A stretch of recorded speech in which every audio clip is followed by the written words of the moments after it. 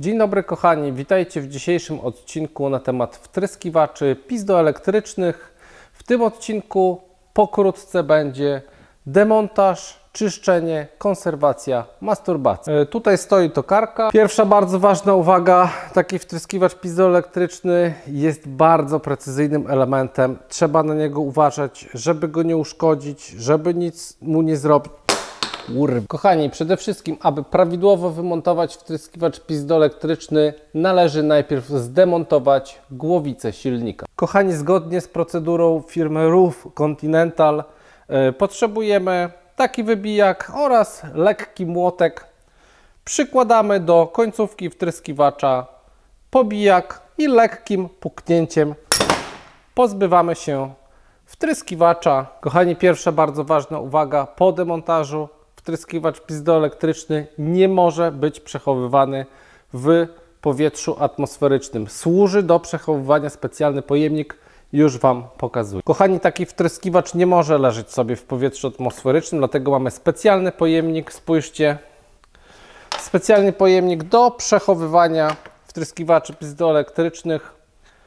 Proszę bardzo, jest wypełniony specjalnym korundem z Sahary i dopiero w ten sposób mamy zabezpieczony wtryskiwacz do przechowywania. Kochani, jak tymczasem przygotować taki wtryskiwacz do montażu z powrotem do głowicy? Już pokazuję Wam wszystkie etapy. Kochani, przede wszystkim podstawa to jest szczotka, drucianka, ale nie zapominajcie o ochronie oczu.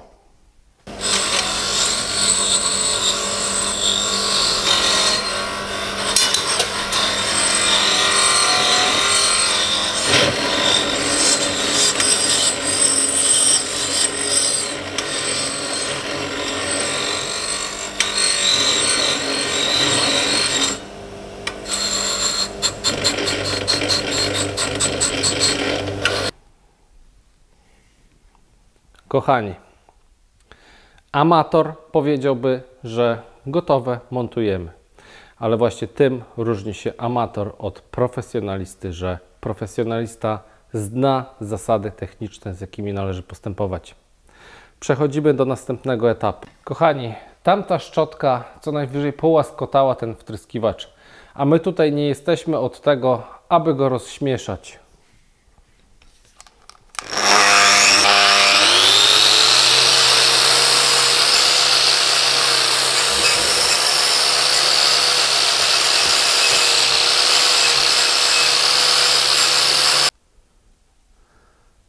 Kochani, zobaczcie pięknie, końcówka wtryskiwacza już powoli zaczyna być przygotowana do montażu. Kochani, zaczynamy końcowy etap przygotowywania wtryskiwacza pizdoelektrycznego do montażu.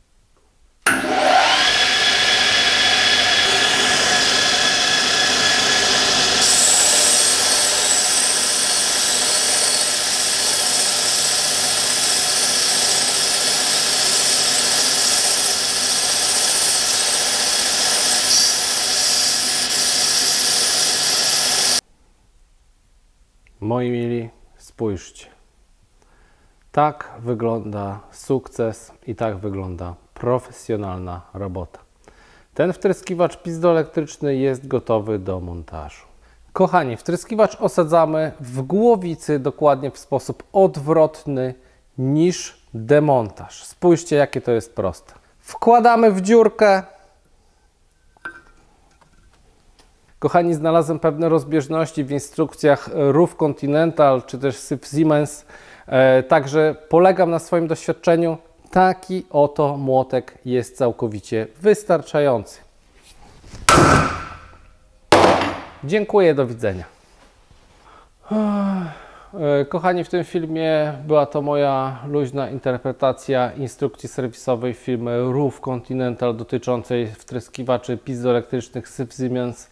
Także jeśli coś Wam pójdzie nie tak i będziecie robić tak jak ja robiłem, to ja nie biorę za to żadnej odpowiedzialności. Dziękuję bardzo.